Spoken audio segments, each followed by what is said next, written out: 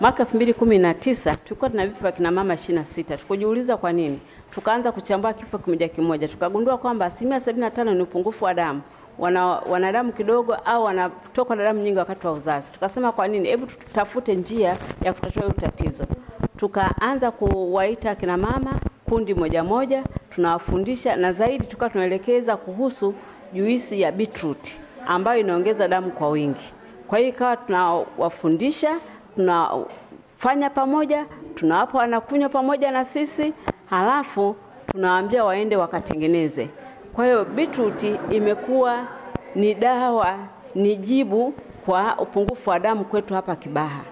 Kwa hiyo elfu mbili na ishirini kina mama walifariki kumi na moja kutoka ishirini na sita mpaka kumi na moja na ishirini na moja akazidi kupungua mpaka nane.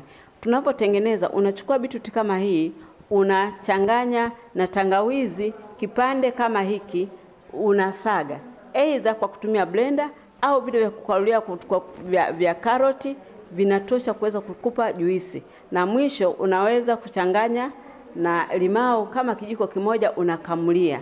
Ukisha kamua hivi, na maana kwamba inatoka glasi moja ya juisi. Mama akinywa asubuhi, mchana na jioni, ndani ya wiki anaongezeka damu ya kutosha.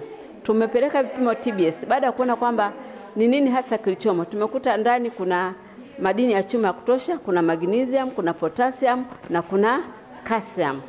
Kwa hiyo inaongeza damu kwa wingi. Na mama wa kwanza tulianza naye alikuwa na damu saba, amekuja kujifungua akiwa na gramu kumi na nne.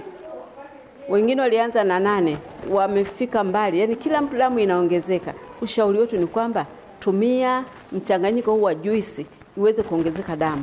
Hatuna haja kuhangaika na mama wengi wanakufa kwa ajili ya upungufu wa damu, wakati tunaweza tukaongeza kutumia vyakula vyetu tulivyo navyo. Watu wanapata ajali, wanakuwa na damu kidogo, tunashindwa kuokoa maisha yao. Lakini mtu ukiwa na damu nyingi inakuwa ni jibu, anakuwa na vimelea vingi vya kuweza kusaidia ku damu kuganda. Akina mama wengi wajawazito wanakula udongo, wanatumia mchele kwa sababu wana upungufu wa madini chuma, lakini akitumia beetroot hilo tatizo linaondoka. Kwa hiyo tunawaalika kina mama wote na wote wanaonisikia watumie juisi hii ya beetroot.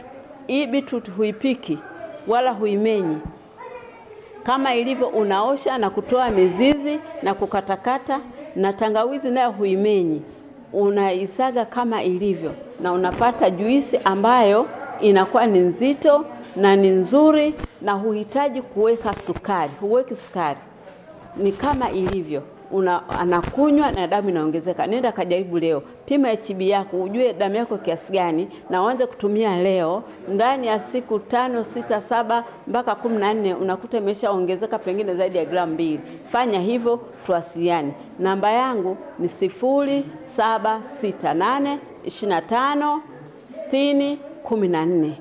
Jambo la msingi, tunashukuru serikali yetu, serikali ya Mama Samia imetuwezesha, imetujengea mahospitali, imetupa fursa ya watu kuwa wagunduzi na kutumia ugunduzi wetu na elimu tuliyopatiwa kuweza kufanya kazi. Tunamshukuru mkurugenzi wetu Minde wa Kibaha Mji, ametupa nafasi, ametuwezesha. Tunamshukuru mganga mkuu wa wilaya yetu Kibaha Mji, Dr.